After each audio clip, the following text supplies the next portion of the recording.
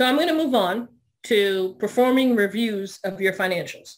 So I've told you about your financials. I've told you about ratios that you're going to use to help you in looking at your situation. You have to review it and do analysis and use it to be helpful. It's one thing to just calculate it. It's a whole nother to actually then take that information and go forward. You want to review your financial statements not just one period at a time.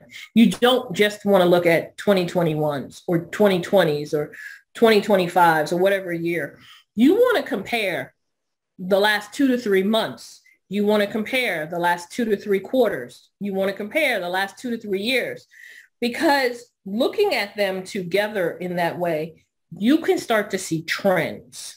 You can start to notice, hey, why is there all of a sudden a spike in marketing cost?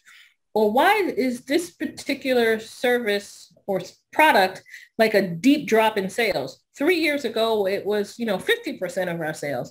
Last year, it was only 25% of our sales. And this year, it seems to be only 10% of our sales.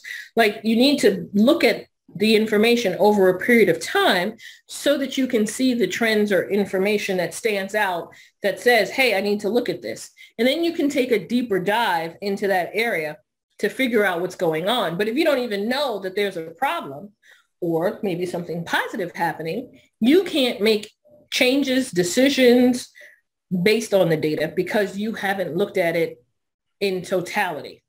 You may realize, well, if this particular product or service has dropped from 50 to 10% of our sales over a three-year period, maybe that particular product or service, it's time to phase it out. People no longer want it. You know, people's attitudes, needs change over time. And so it may be time to stop making that product or providing that service. Or it could be that, you know, a year ago you added a new service and you've noticed an increase in the sales in that service. So maybe you need to put some more resources to providing that service on a greater scale. But you won't know if you don't take the information, the ratios, and do a deeper dive or analysis into the information to know a lot of time people go, okay, great, I got my financial statements done, and they don't do anything with it.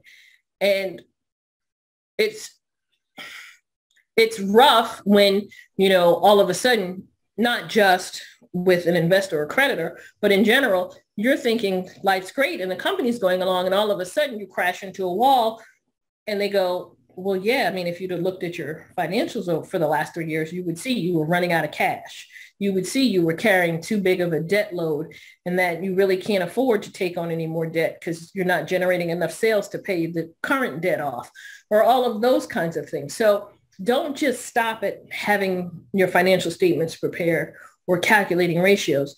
Go then and start to do an analysis of over a certain time period so that you can see either good trend or, uh-oh, that's a red flag this is going in the wrong direction over the last three, four, five years.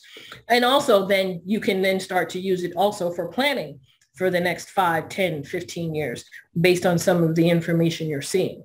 So make sure you take that last step and do the analysis of the information.